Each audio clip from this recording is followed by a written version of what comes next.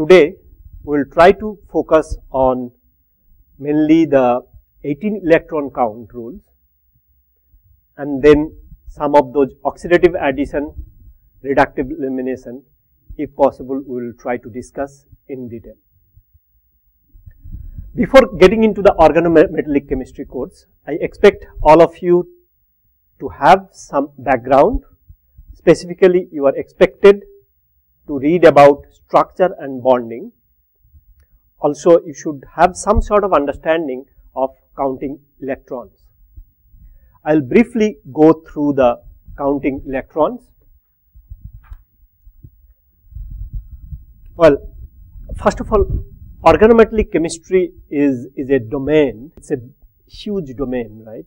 At this point, anything that metal is having electronegative carbon attached with it, then usually it is called organometallic complex. The essential part of the organometallic chemistry is one must have a metal and then then we should have a metal carbon bond with it. Now, in order to count the electrons of an organometallic complex, we usually follow two methods.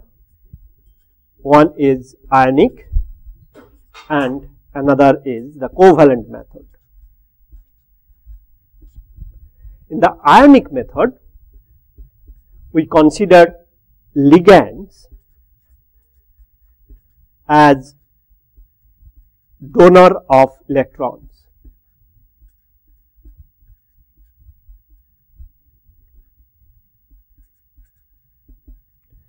And in covalent method,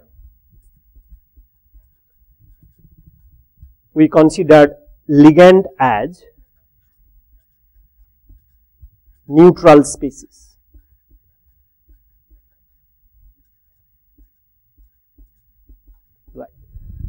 Now, for example, if we have a metal ligand complex ML,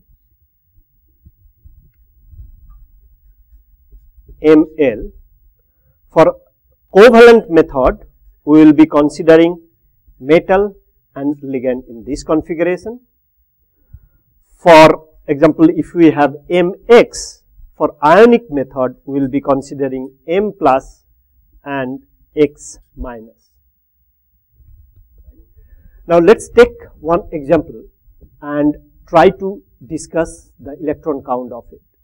For the simplicity purpose, I will be discussing mainly the ionic method and the electron counts of the ionic method. So, covalent method, those of you who are familiar with and are comfortable with that, there is nothing wrong with it you can follow the covalent method as well. Mainly I will try to have the ionic method as the discussion mode for the electron count because that makes things a little bit easier. For example, we have a chromium complex, chromium hexacarbonyl complex. So, it is going to be an octahedral complex as all of you know it is an octahedral complex. Now, if you see in the periodic table, scandium, titanium, vanadium, chromium, it would be 6 electron for chromium and 6 of the cobalts are there, sorry, 6 of the carbon monoxides are there. So, each of the carbon monoxide is giving 2 electron. So, total electron is becoming 6 plus 12 18. So, this is how usually we try to count the electrons. For example, as, I, as we shown over here, chromium hexacarbonyl complex, chromium having 6 electrons and 6 of the carbon monoxide giving 2 electrons each. Therefore, we are having 6 plus 12 total 18 electrons. Let us try to take another example platinum tetrachloride 2 minus. So, the oxidation state of platinum is platinum 2 plus and therefore, you can count the electrons of it. So, platinum will be you know, OSIRPT, osmium, um, iridium, platinum So, overall 10 electrons. And um, we will have then therefore on the platinum, platinum 2 plus will be having you know um, 8 electrons, right, and 4 of the chlorine, each of them are having 2 electrons, total of 8 electrons again. So, overall we will have 16 electrons. Is that okay? This is what ionic method is, where we try to find out the oxidation state of each and every metal involved into the complex. In this case, platinum is in plus 2 oxidation state. Each of the chloride will provide 2 electrons to the complex and thereby we have platinum 2 plus total providing 8 electron into the complex, 4 chloride each giving 2 electrons into the complex. So, therefore, we have another 4 times 2 18 electron overall it is a 16 electrons complex. Similarly, something you can work out on your own cyclopentadienyl ferrosinyl dicarbonyl chloride if you count the electron you will be able to find that it is a 18 electron complex okay that is something you can uh, try to find out on your own right. So, I think uh, I would expect at this point that you, you try to take some complex, try to count the electrons. Most often you will get you know 16 or 18 electron complex.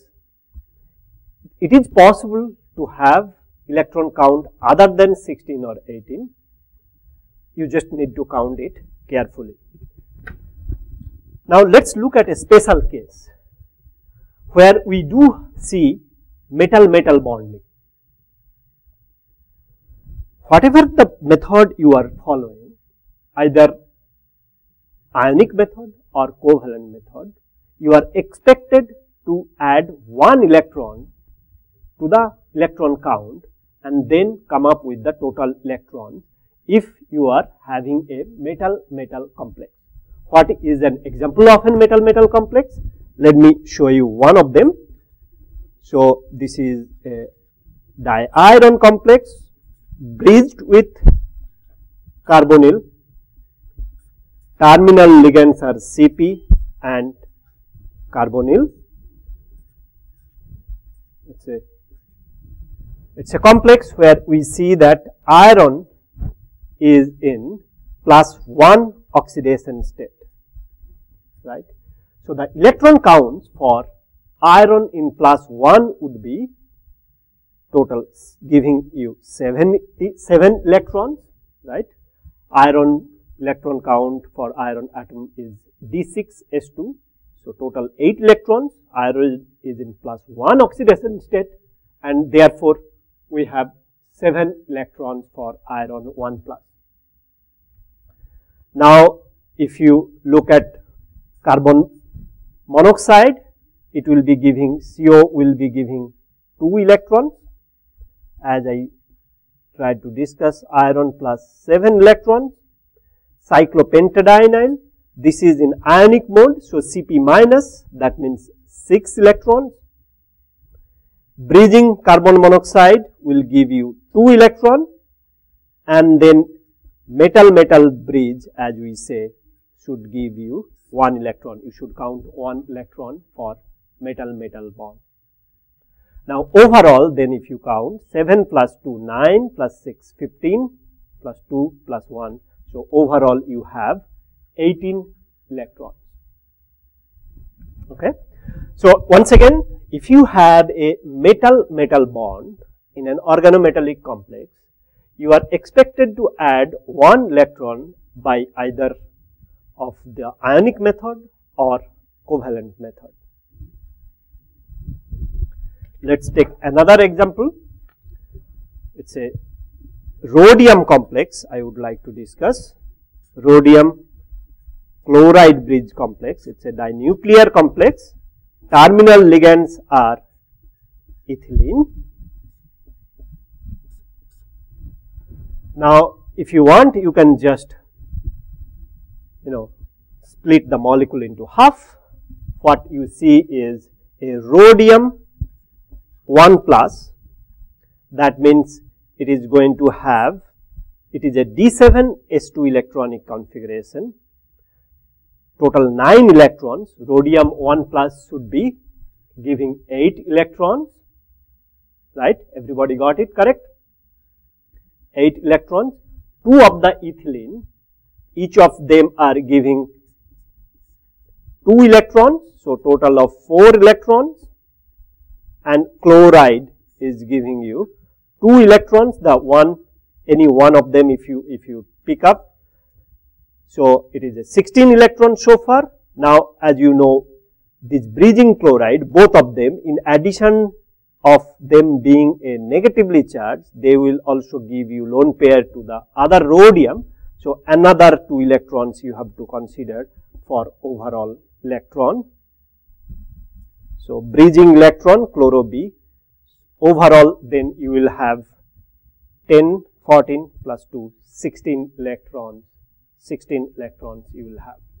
So, this complex dirhodium, dichloro bridge and diethylene complex where you see that the chloride is the bridging one, each chloride are attached with each of those rhodium. Therefore, total electrons coming from 2 chloride from for any particular rhodium is going to be 2 plus 2 total 4. Rhodium is in plus 1 oxidation state that means it is having 8 electrons. So, 8 plus 4 from the chloride and 4 from the ethylene. Overall, it is a 16 electron complex. Are we all clear with this? Alright, let us move on for the next example. Now, we can have yet another example where we see that it's a, once again it is a rhodium complex, dirhodium complex. We have hydrogen or hydride and chloride bridged and terminal ligands being chloride and cyclopentadiene. Now, if you try to count the electron for rhodium, rhodium here we, we see that it is rhodium 3 plus, right. Now, rhodium 3 plus will rhodium is D7H2. So, total 9 electrons, rhodium 3 plus will be 6 electrons. Cp star will again have 6 electrons. Terminal chloride that will give you 2 electrons. Now, the bridging chloride for each of the rhodium it will give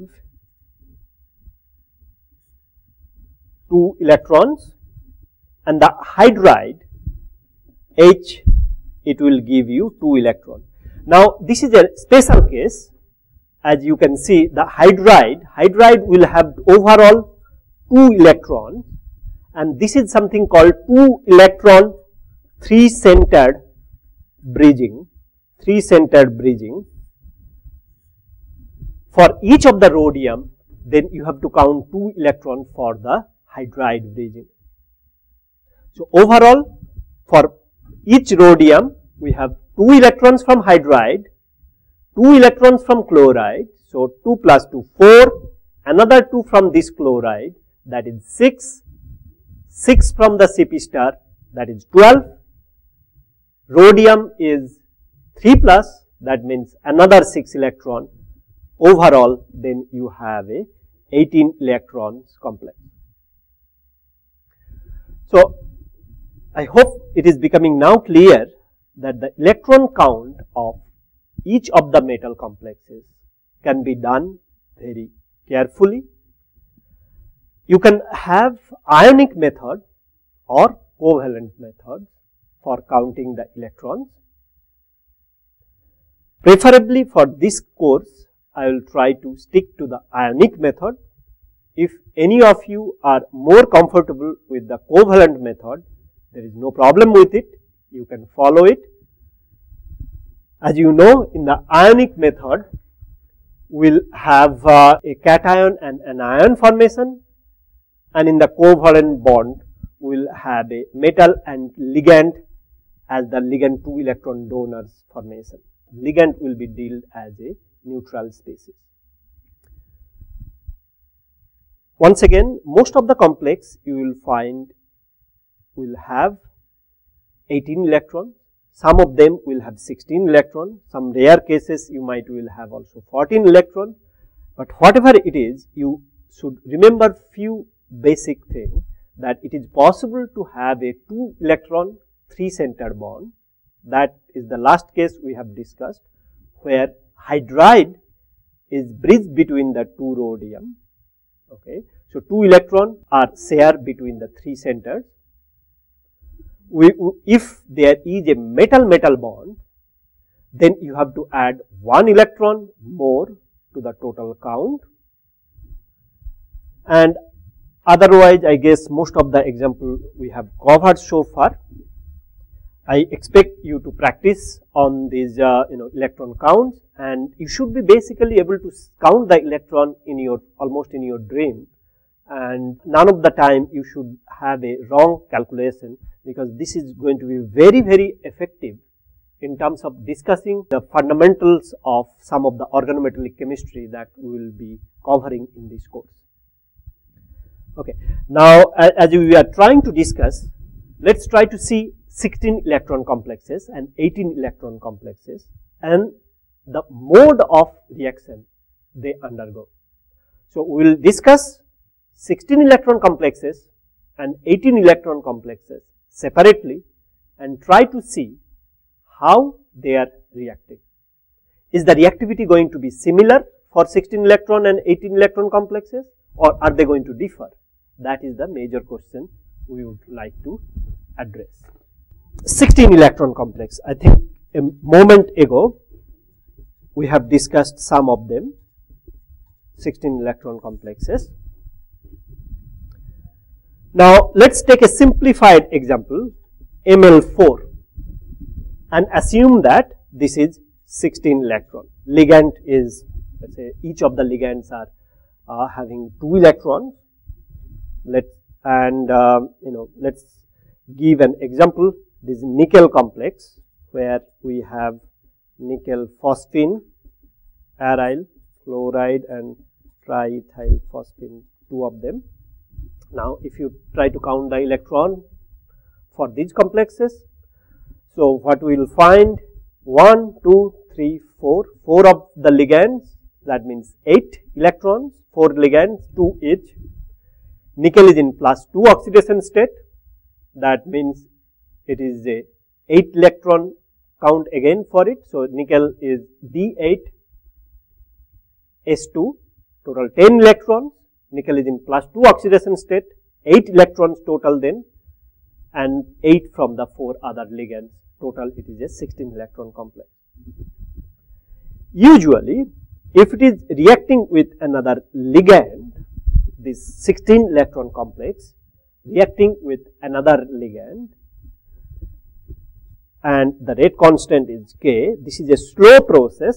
What we see usually, we, we do see that a 18 electron species formation, if L prime is reacting with ML4, we get ML4 L prime complex, 16 electron complex reacting with 2 electron donor ligand, it is becoming 18 electron complex.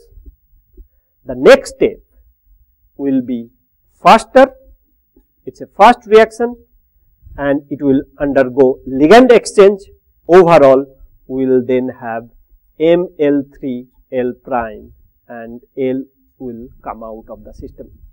So, a 16 electron complex will undergo associative mechanism. This is the one where ligand is getting associated with the 16 electron complex becoming or giving rise to an 18 electron complex, this 18 electron complex then will undergo fast dissociation to have a ligand exchange and will give rise to ML3 L prime along with formation of the ligand L. Now, let me give you a practical example that the same one will will use the nickel complex where we will see that nickel is tetra coordinated of course it is a square planar complex the same one which we were discussing a moment ago. It is a 16 electron complex. By now hopefully you will be able to count the electrons very quickly. It reacts with let us say pyridine. That is the exogenous ligand. Overall, now from tetracoordinate, we have a pentacoordinated nickel complex. Pyridine is associated with the nickel along with the other ligands, right. So, 16 electron complex going to 18 electron complex and from here on chloride will come out, okay and we will have a tetradentate or tetra coordinated nickel complex back where it will be again square planar along with formation of the chloride from the system. Just to clarify once again, this is a 16 electron complex coming to give you 18 electron complex while reacting with pyridine and chloride is coming out from the system to give you back a 16 electron complex. So, therefore, it is to simplify usually 16 electron complexes undergo associative mechanism to give you 18 electron intermediate which will then rapidly dissociate to give you back 16 electron complexes. Now, for this reaction, the one we have just discussed where pyridine is exchanging with the chloride, how, I mean, of course, you can do some experiment to prove that this is what is the trend. Now, if you are looking at the aryl group, this aryl group, if you substitute the aryl, in one case, if you have, if you have toluene in another case if you have mesityl the expected pattern of reactivity or the observed for pattern of reactivity is aryl if it is toluene versus if it is aryl mesityl the rate constant varies 6000 times. So, the aryl one when it is toluene that means less sterically demanding that is the one which will react very fast compared to the one with mesityl which is sterically demanding or bulky and thereby will be preventing the pyridine coordination. This is the one which is the slow step. Pyridine coordination will be hindered if this aryl is mesityl one that means sterically demanding one the reaction will be slow. If the aryl is less sterically demanding, then this step will be faster and then therefore depending on the aryl whether it is a toluene or mesityl, we can have a significant difference in the rate constant and two rate constant if you compare the toluene one is 6000 times faster compared to the mesityl one.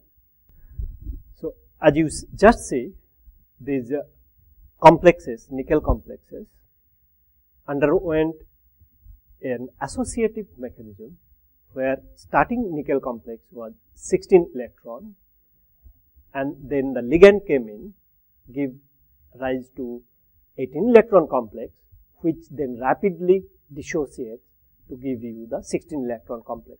Overall, it is a 16 electron complex undergoing an associative mechanism to give you a 18 electron complex which then dissociates to give you 16 electron complex. So, 16 electron complex starting out resultant is also a 16 electron complex in between you have an 18 electron complex.